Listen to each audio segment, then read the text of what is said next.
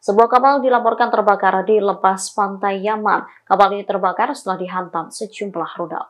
Dilaporkan dua rudal ditembakkan ke sebuah kapal di tenggara kota pelabuhan Aden di Yaman. Menurut Badan Operasi Perdagangan Maritim Inggris, serangan itu diluncurkan pada Kamis 22 Februari 2024 hingga menyebabkan kapal terbakar. Dikutip dari Al Arabiya, pasukan koalisi pimpinan Amerika Serikat langsung merespon insiden yang terjadi 70 mil laut dari Aden menuju Laut Merah. Namun belum diketahui serangan itu diluncurkan oleh siapa. Sementara sejauh ini, serangan yang menyasar kapal-kapal di Laut Merah dilakukan oleh kelompok Houthi Yaman. Serangan itu dilakukan untuk mendukung Palestina dari serangan Israel.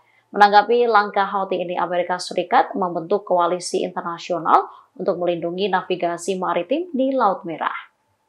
Download Tribun X sekarang. Menghadirkan lokal menjadi Indonesia.